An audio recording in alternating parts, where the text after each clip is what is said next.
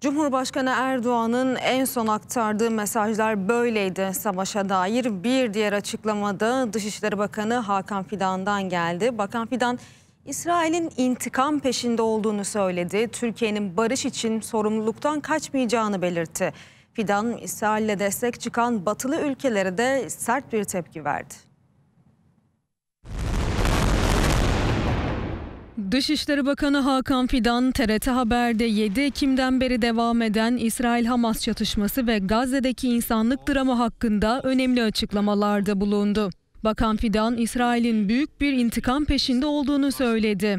Sivillerin hedef alınmasının insanlık suçu olduğunu vurguladı. Yaşadığımız bu kriz önceki krizden farklı. Çünkü İsrail tarihinde vermediği kadar insan kaybı yaşadı. Bu yüzden çok büyük bir intikam peşinde. Kayıplarının telafisini barışta değil intikamda gördüğü için Gazze'yi hedef alıyor. İsrail'in toplu cezalandırma uygulamasının herkesi endişelendirmesi gerekiyor. Biz bunu insanlık suçu olarak nitelendiriyoruz. Dışişleri Bakanı Fidan, başta Amerika olmak üzere batılı ülkelerin İsrail'e koşulsuz destek vermesini de eleştirdi.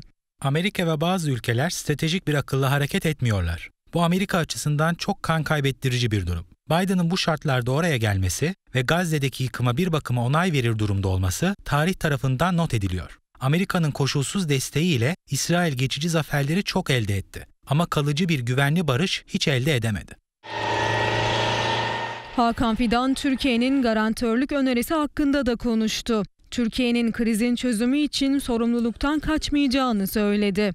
Garantörlük konusu aslında bölge ülkelerinin meseleyi aktif olarak sahiplenme meselesi. Önemli olan bir şekilde bölge ülkelerinin Filistinlilerle elini taşın altına sokması. Bölgedeki dostlarımız da uygun bulursa biz bu konuda rol oynayabiliriz.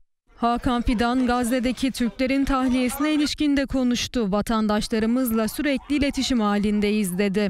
Gazze'de 300 civarında vatandaşımız var. Onlarla sürekli iletişim halindeyiz. Krizin ilk günlerinde tahliye ettiklerimiz oldu ama refah sınır kapısının vurulmasıyla geçişler durdu.